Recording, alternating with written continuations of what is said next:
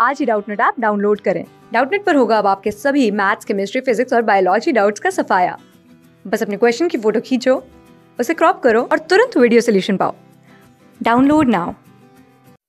Where does areolar tissue occur यहाँ पे पूछा गया है कि एरियोलर टिश्यू जो है वो कहाँ पे पाए जाते हैं।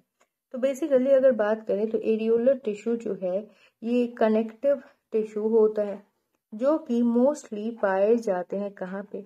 तो बीनीथ द हम कह सकते हैं जो स्किन होता है। तो बीनीथ द स्किन ये सेल्स जो है या फिर ये टिश्यू जो है वो पाए जाते हैं जो कि एक्चुअली कनेक्ट करने में हेल्प करते हैं। और अगर हम लोग देखें मोस्टली तो जो जो यहाँ पे हॉलो विसरल ऑर्गन्स होते हैं, उन हॉलो विसरल ऑर्गन्स में ये लोग पाए जाते हैं लाइनिंग में।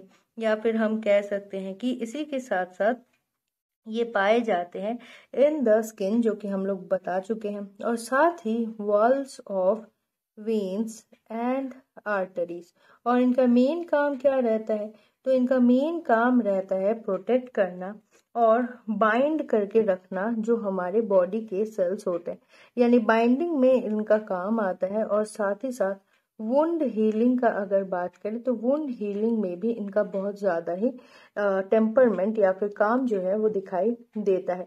तो यही हो जाता है एरियल एरियोलर टिश्यू जो कि मोस्टली कनेक्टिव टिश्यू होते हैं और बिनीथ द स्किन और होलो विसरल ऑर्गन्स में और वेन और आर्टरी के वॉल्स में भी दिखाई देते हैं।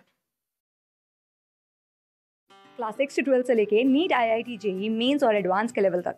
दस मिलियन से ज़्यादा स्टूडेंट्स का भरोसा। आज ही डाउनलोड करें डाउट नेट आप या व्हाट्सअप कीजिए अपने डाउट्स आठ चार सौ चार सौ चार सौ पर।